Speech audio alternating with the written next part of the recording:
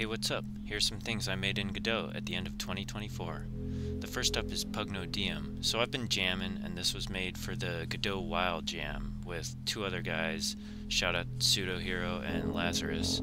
The theme was Tower and the idea here is that God has just destroyed the Tower of Babel and all the workers have been turned into these crystal angel guys and you're just really mad about that. So you're making your way up the tower using this dash attack ability to uh, eventually punch God in the face. I've been trying to work on teams more just to get that experience working with other people, and I thought this one went pretty well. I did most of the programming, Pseudo Hero did the game design, the level design, and designed and modeled the enemies, and Lazarus helped out a lot with the GitHub, he did the sound design, and added a few achievements. The game is heavily inspired by Neon White, which I haven't actually played, but the idea is that you can speedrun it, and the levels have multiple paths through them, so you'd want to play it a couple times to figure out what the optimal path is, and then just try to get through the enemies as quickly as possible. I set up a whole serialization system to track best times and other stats, and it was just a good exercise of Godot's 3D capabilities and just getting getting a game together, getting that complete package. After that, I started fleshing out the systems in a side project called Broken Sun. This is an immersive sim game that I have in mind, and in case you don't know, immersive sims are games like Thief or Dishonored or Deus Ex. I just really like a good save scummy stealth em up. So that's what I'm trying to make. So far, and in no particular order, there's the basics of this inventory system set up. Objects can be different sizes, some of them can stack, and they can be stored in containers. There's a serialization system built for quick saving. There's only a few odd tools in the game so far, like this monitor in the left hand that can be synced up with security cameras so you can see what they're seeing. The security cameras can see the player, but they're light sensitive, so when you turn out the lights, the security camera won't see you. That's when it turns green. I'm imagining a lot of lurking around in heavy shadows and working your way through unlit superstructure. So you've got a flashlight, but I also started playing around with shaders and got this neat night vision shader working. It uses a combination of what the camera sees and depth texture to allow you to see in the dark. Besides that, there's a whole bunch of basic and not so basic movement system stuff to work out.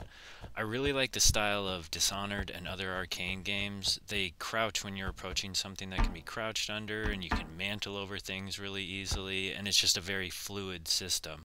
Like in a lot of immersive sims, I want you to be able to upgrade your player and change your play style. So I started implementing a few of these, like jumping higher and wall running. There's still a lot of work to be done, but I've got the basic framework in place, and I'm really liking how this one's coming along. It turns out that Godot Wild Jam is a monthly thing. It starts on the second Friday of every month, and that same team of us from earlier attempted to do it again. The theme this time was Reflections, and our game was going to be called Mirrored Echoes, but you can probably tell by how I'm saying this all that it kind of fell through, and yeah. In our defense, it was the week after the election.